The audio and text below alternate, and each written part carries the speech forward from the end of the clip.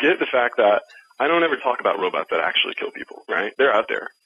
I'm talking about a, a robot uprising, which is a situation not where robots are used in warfare, which is, you know, all too common already, but where the robots actually sentiently decide to join together and uh, revolt against humankind.